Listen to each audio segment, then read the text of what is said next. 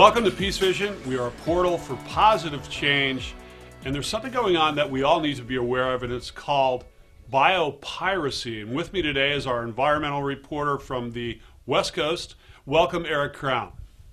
Hey, hello. It's nice to see you again, John. Yeah, so tell me about, you know, I'm thinking of piracy, I'm envisioning pirates, but something else is going on here, and it's pretty serious, actually. Tell us about it. Well, you know, it's it's a term. It's another kind of hidden term. Biopiracy, in its simplest explanation, is when somebody goes in and either takes cultural knowledge from a tribe or a physical plant itself from a tribe, and the tribe that has taken care of these particular plants for medicinal reasons goes back to the Western culture, patents the design of the plant, and then owns the plant. It seems a little crazy, right? That seems pretty unethical, but it, unfortunately, I, I, I, believe anything in this environment. well, you know, uh, one of the most common examples, but the weirdest example, is turmeric. Um, that was actually patented by the University of Mississippi in 1995. Um, now, turmeric, tell people what that is and, and where it comes from. Turmeric, the uh, spice uh, originating, I believe, in India and uh, most of like one of the staples of, of Indian food and a lot of actually Middle Eastern um, recipes. So right. it, it's a it's a cultural spice, you know, um, but it no longer is. Now it is owned, patented um, by University of Mississippi.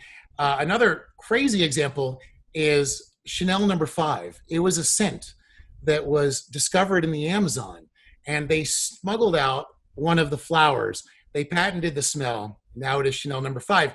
Now none of this maybe doesn't seem that important. But what we have to consider is when you think about the amount of money that these companies take patenting natural products uh, and not giving anything back to these environments, we're seeing the destruction of these local communities now through the Amazon, through India, you know, uh, through a lot of areas where the biopiracy runs rampant.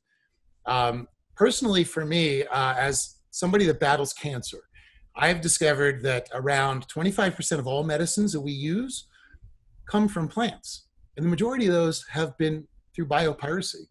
Uh, over 60% of chemo drugs come from natural plants.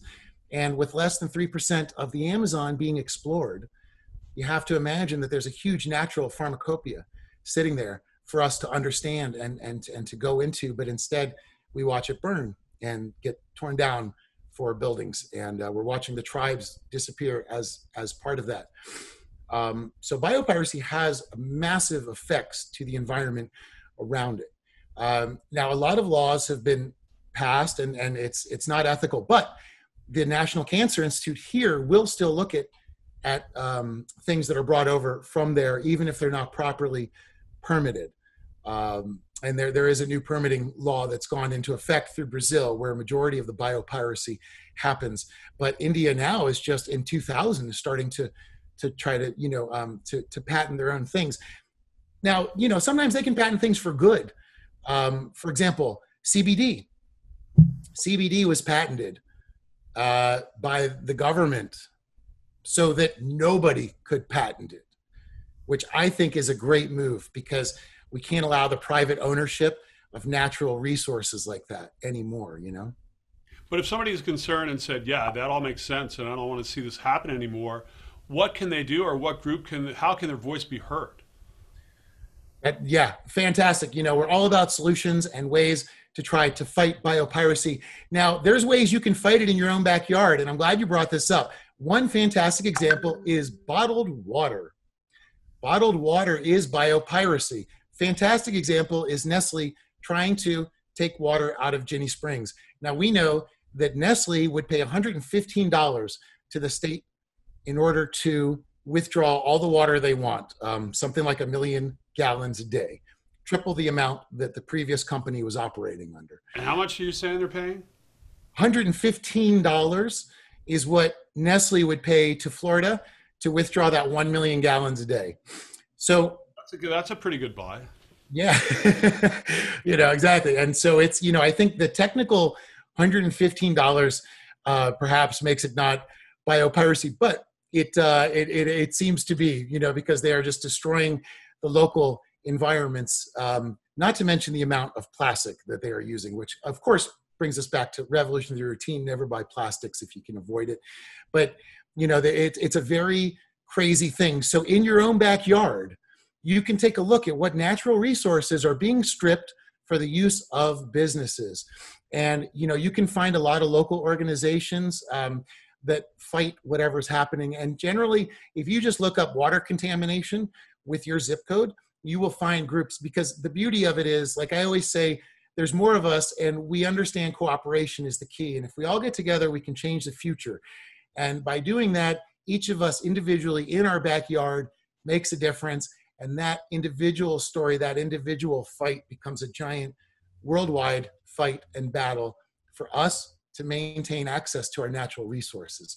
So well, it does bring up the um, the group rights of nature rights rights of nature which uh, you may have heard or been involved with but they're fighting for the rights of nature so that we can all have the right for clean water. So I look at it not so much as that nature has its own rights, that we have a right to live in a clean environment. Isn't that what that group is really all about? Yes, I think so. I think they're a fantastic group, and they have done amazing work throughout the entire nation. And uh, they really try to create, you know, because we do live in a world where corporations have been granted personhood um, but the environment hasn't. So if there's going to be an even legal battle, you have to have equal, you know, equal footing, I believe. Um, you know, now there was, I think it's a 1927 law in Florida, for example, that states that all groundwater belongs to the state. Um, so they do have that right to say no. And a group like the um, the rights of nature movement, especially in Florida, they're fighting so hard right now to make sure that those groundwaters cannot be sold out by the state. And you know especially there's so many examples of of uh, you know especially in florida where the water is being polluted and there are physical um, you know sicknesses that are coming from this. So and again somebody that's battling cancer uh, you know i think anything we can stop getting into our water uh, we need to before it gets in there because we can't deal with it down the road. I had one other question for you, kind of as an aside, but it's my understanding that when you go to the store and you buy bottled water, you think, oh, this is great, this is bottled water. But there's really no regulations at all uh, pertaining to the quality of that water, is there? Exactly, exactly. They, they face no regulation. Um, and they can completely they can label it as anything uh, you know they just have to go through a simple purification process and that's their only um, requirement as far as the bottling goes. Now there's no oversight to that and there's no there is no governing body that that watches for it. So there really is and i believe that they've done a bunch of tests and even found that certain brands were just the same as the tap water because tap water has you know um, forever chemicals pfas it has you know generally amounts of radiation. It has mercury polonium, you know, um, chromium. It has all kinds of na- nasty, nasty things in the water. And when we're buying bottled water, even if they're putting that through a simple just cleaning process, it's not going to do anything um, to remove these really harmful chemicals. So it's kind of like a band aid on a broken bone. You know, it's never going to, to really address the problem. Yeah, and I'd love to know who's working on that to make some kind of legislation to where there are standards set for the water that we buy and trust as being safe. It would be a, a fantastic move forward. You know, there's some great groups that are trying to push it. Uh, right now, you know, it's a very difficult time because a lot of the protections given to water have been placed on hold. So, uh, you know, at the moment, there's a lot more groups that are now starting to pop up because I think we're finding that ultimately, you know, us as citizens, we are the missing link. We're the ones that can help where governments have their their limits, you know, and a group like Rights of Nature, they are the ones that are fighting for us in in a courtroom. You know, we we fight out in the streets. You know, we let people know what we think, but these guys are in there um, trying to change the laws, and ultimately, that is what's going to create the uh, protections that we're going to need. Otherwise, we're not going to have access to clean water anymore unless we're buying it from a source that can't even prove to us that it's clean.